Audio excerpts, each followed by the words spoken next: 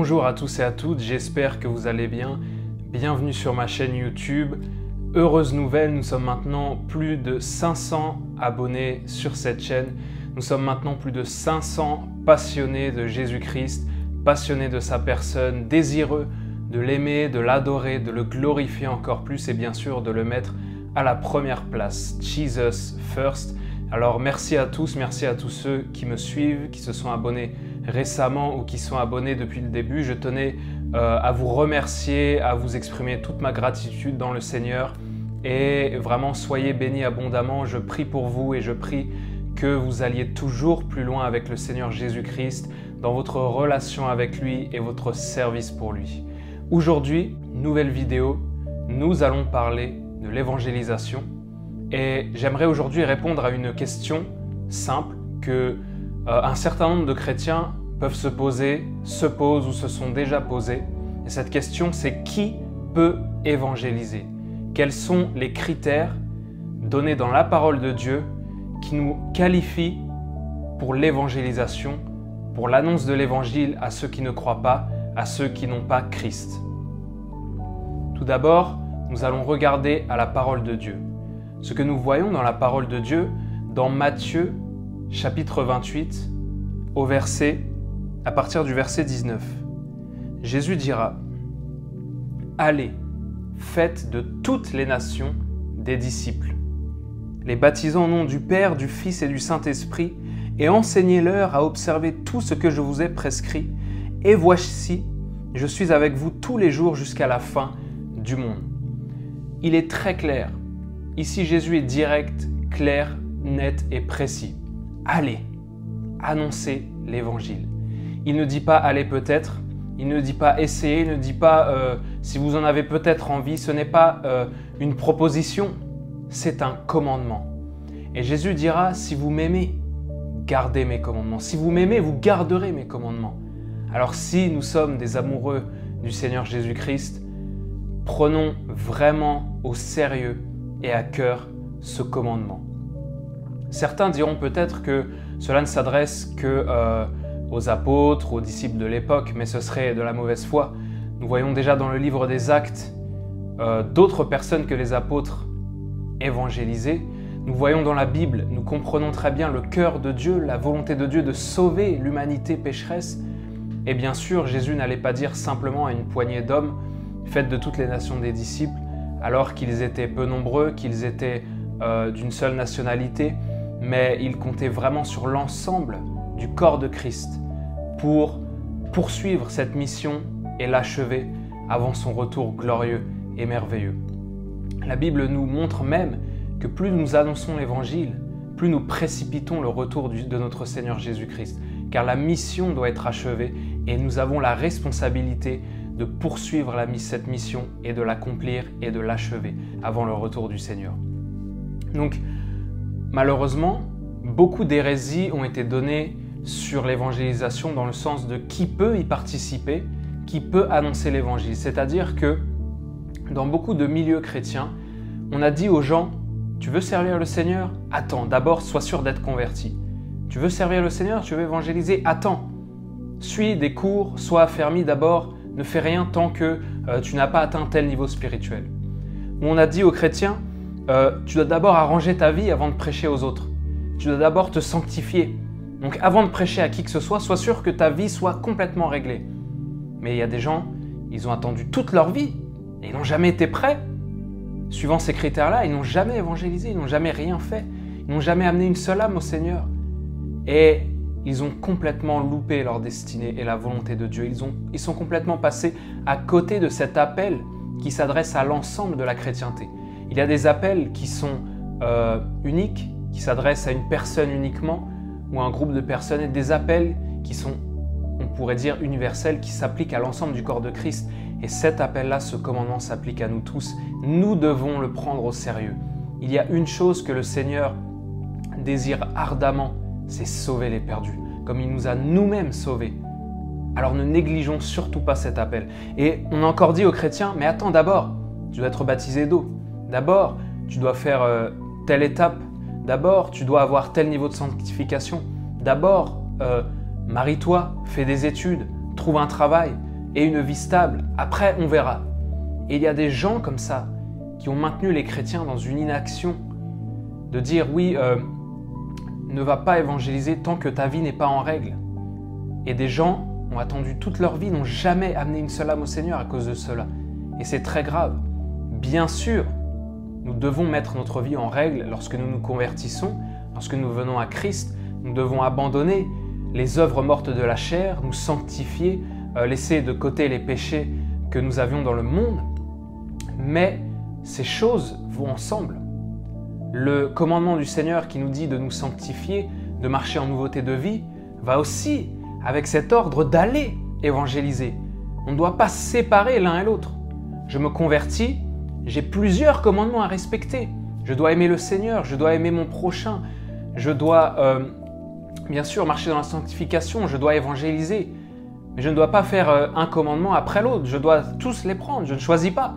Le premier et principal critère, qui bien sûr est le plus évident, je ne sais pas si on peut le compter vraiment comme un critère, mais c'est simplement d'être converti né de nouveau en Jésus-Christ. C'est la base, c'est je veux dire, euh, cette vidéo-là, je m'adresse aux chrétiens, bien sûr, faut être né de nouveau, il faut être en Christ. Ça, je pense que nous l'avons tous compris. Mais une fois que je suis en Christ, est-ce que je dois d'abord me faire baptiser d'eau? Est-ce que je dois d'abord suivre des cours, une formation? Qu'est-ce que je dois faire avant d'évangéliser? Eh bien, le Seigneur a donné un seul critère. Voici ce qu'il a dit à ses apôtres. Donc il leur avait dit, Jésus était ressuscité, ils avaient cru, qu'ils étaient nés de nouveau, mais il leur dit allez, mais il leur dit aussi, en Actes chapitre 1, au verset 4, comme il se trouvait avec eux, il leur recommanda de ne pas s'éloigner de Jérusalem, mais d'attendre ce que le Père avait promis. Ce que je vous ai annoncé, leur dit-il. Jésus leur dit allez, mais il leur dit aussi attendez. Pourquoi? Parce qu'avant d'aller, il devait attendre quelque chose, ou plutôt quelqu'un. Verset 8, vous recevrez une puissance, le Saint-Esprit survenant sur vous, et vous serez quoi? Mes témoins à Jérusalem, dans toute la Judée, dans la Samarie et jusqu'aux extrémités de la terre. Voici le critère que Jésus a donné. Recevez le Saint-Esprit. Soyez baptisés dans le Saint-Esprit. C'est-à-dire qu'une personne qui se convertit, qui naît de nouveau, qui reçoit le baptême dans le Saint-Esprit, peut évangéliser. Jésus n'a pas donné un quota de sanctification à accomplir, n'a pas donné une liste, euh, un ordre de choses à faire avant de pouvoir évangéliser, si ce n'est recevez la personne du Saint-Esprit, survenant sur vous sous la forme d'une puissance. Et alors ensuite seulement, et seulement là, vous serez mes témoins. Alors est-ce que je peux évangéliser si je n'ai pas encore reçu le baptême du Saint-Esprit, que je ne parle pas encore en langue, mais que je suis chrétien né de nouveau? Oui.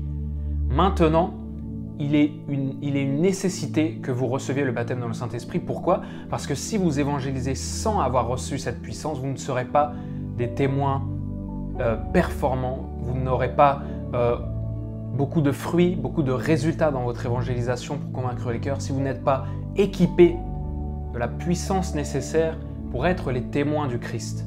Nous avons besoin d'être équipés de la puissance de Dieu, de la présence du Saint-Esprit émanant de nous, nous recouvrant de sa puissance et de sa personne. Et ce n'est pas juste une seule expérience, c'est que nous devons continuellement chercher à être remplis du Saint-Esprit, à être remplis de la puissance de Dieu pour la manifester autour de nous et ainsi toucher les perdus. Donc le critère, le seul et unique que Jésus donne, c'est recevez le Saint-Esprit, soyez baptisés dans le Saint-Esprit. Dire que le chrétien qui naît de nouveau peut évangéliser. Le matin, j'évangélise quelqu'un il se convertit réellement au Seigneur Jésus-Christ. L'après-midi, je l'emmène, il peut évangéliser. Ce n'est pas un problème. Jésus veut tellement sauver les perdus. Nous ne devons pas freiner les gens. Alors bien sûr, il faut être formé, mais il faut commencer. Je commence et en parallèle, bien sûr, je dois apprendre. J'apprends de ceux qui sont plus anciens dans la foi, j'apprends des ministres de l'Évangile, j'apprends peut-être, je prends des cours vis-à-vis des cours d'évangélisation. Bien sûr que tout cela est nécessaire et fort utile, mais je ne dois pas attendre de remplir d'autres critères que celui d'être en Jésus-Christ et d'avoir reçu le baptême dans le Saint-Esprit pour aller sauver les âmes. Parce que Jésus le désire ardemment. Et je pense et je, veux aller jusqu'à dire que lorsqu'une église organise des campagnes d'évangélisation, ce n'est pas le même groupe de chrétiens zélés qui doit toujours dire oui, mais tous les chrétiens de l'Église devraient être partants. Le corps de Christ, l'épouse de Christ, celle qu'il désire, celle qui est glorieuse et puissante, devrait à chaque campagne d'évangélisation, bien sûr, euh, suivant l'agenda de chacun, les disponibilités de chacun, mais tout le monde devrait être partant pour aller évangéliser. J'ai entendu euh, Todd White, un évangéliste américain, qui euh, donnait des statistiques sur l'évangélisation aux États-Unis. Il disait il y a à peine 2-3% des chrétiens aux États-Unis qui euh, prennent au sérieux l'ordre du Seigneur d'aller évangéliser, mais qui ont déjà amené une personne au Seigneur. Et c'est si peu, alors que tout le corps de Christ, l'ensemble de l'épouse de Jésus-Christ, devrait être régulièrement dans les rues, annonçant l'amour de Jésus-Christ, annonçant le salut, annonçant la croix de Christ, la résurrection. Voici ce dont ce monde a besoin. L'espoir n'est pas dans la politique, dans les mesures économiques ou sociales. Le seul espoir est en Jésus-Christ et dans le salut. Seul cela pourra transformer le visage de l'humanité. Et en ces temps que nous traversons, les gens ont plus que jamais besoin de vous, ont plus que jamais besoin de Jésus-Christ, que vous leur apportiez la lumière, eux qui sont dans les ténèbres, les ténèbres qui se sont accrues ces derniers temps. Et n'ayez pas peur, je voudrais vraiment encourager ceux qui regardent cette vidéo, n'ayez pas peur. Peut-être que vous avez les masques à porter, vous avez la distanciation à respecter, certaines mesures, etc. Ok, respectez-les. Mais cela ne constitue pas un obstacle. Vous pouvez prendre des tracts euh, sur l'évangile, allez n'importe où. Vous passez au restaurant, au supermarché, vous pouvez en laisser un. Vous pouvez sortir, vous promener, en donner. Vous pouvez euh, en donner à n'importe quelle personne que vous, que vous croisez, ainsi qu'un mot d'encouragement, d'amour, peut-être une prière. Voici ce dont ce monde a besoin. Les gens n'en peuvent plus de cette situation, le taux de suicide augmente, les, les dépressifs augmentent, les gens ont besoin de cet espoir, de ce salut, de cette délivrance et de cet amour qui ne se trouve qu'en Jésus-Christ. Le Seigneur Jésus compte sur chacun d'entre vous, chacun d'entre vous. Vous n'êtes pas trop faible, vous n'êtes pas trop petit, vous n'êtes pas trop jeune dans la foi, vous n'êtes pas, peu importe où vous vous situez, prenez cet ordre, ce commandement à cœur. Allez, faites de toutes les nations des disciples, enseignez-leur ce que Jésus-Christ nous a enseigné et amenez-les à la conversion, amenez-les à devenir des disciples. Voici ce que Jésus désire ardemment. Donc pour répondre à cette question, qui peut évangéliser? Tout chrétien né de nouveau le peut. Quel est le critère essentiel? Soyez baptisés dans le Saint-Esprit. Recevez la personne du Saint-Esprit. Soyez couverts de sa puissance et allez régulièrement. Allez jusqu'à ce que le Seigneur vous reprenne. Ne laissez jamais tomber ce commandement et cette mission que le Seigneur vous a donnée, car il n'y a pas de mission plus glorieuse. J'espère vraiment que cette vidéo vous a encouragé et j'aimerais avant de terminer simplement faire une prière pour nous encourager à prendre cet ordre au sérieux et à sortir de notre zone de confort et que nous puissions devenir de réels missionnaires pour l'endroit où nous vivons, la ville, le quartier, la rue, la région où nous vivons. Soyons des missionnaires partout où nous nous trouvons. L'Église doit être missionnaire. L'essence même de l'Église de Jésus-Christ, ce n'est pas rester enfermé entre quatre murs, mais c'est d'être missionnaire, d'amener la présence de Dieu qui est en nous au monde pour qu'il soit touché et vienne aussi à Jésus et qu'il rencontre cet espoir et cet amour. Merci Seigneur Jésus. Merci Seigneur Jésus car nous voulons nous engager pleinement aujourd'hui Seigneur, à prendre au sérieux Seigneur la grande commission, cette grande mission que tu nous as donnée Seigneur, d'amener le monde à devenir tes disciples, à te connaître, à être sauvé, à rencontrer ton amour, à trouver la réelle liberté, la réelle délivrance qui ne se trouve qu'en toi, seul, le seul chemin vers le ciel, Seigneur, c'est toi. Nous voulons y amener le plus grand monde, Seigneur. Alors je prie pour tous ceux qui nous regardent, Seigneur Jésus, que tu puisses interpeller leur cœur et leur conscience, Seigneur, qu'ils aillent faire de toutes les nations des disciples, qu'ils aillent faire de leur famille, de leur quartier, sur leur lieu de travail, n'importe où, Seigneur, des disciples, qu'ils soient la lumière de ce monde, qu'ils portent l'amour, l'amour de Christ à ce monde, Seigneur. Je prie, Seigneur, que tu puisses revêtir chacun de ceux qui regardent, Seigneur, et qui veut évangéliser. Revêtis-les de la puissance d'en haut. Précieux Saint-Esprit, je prie que tu descendes sur chacune des personnes maintenant qui s'apprêtent à évangéliser et que tu puisses la revêtir de ta puissance et faire d'elle ton témoin dans toutes les régions jusqu'aux extrémités de la terre, Seigneur Jésus. Équipe le corps de Christ, équipe les chrétiens Saint-Esprit. Anime un feu plus grand dans les cœurs et interpelle-nous, Seigneur, sur ce besoin urgent, Seigneur, d'amener ton salut et ton évangile à quiconque, à n'importe quelle personne que nous pouvons croiser, Seigneur, car tu les as tant aimés, Seigneur, comme tu nous as aimés.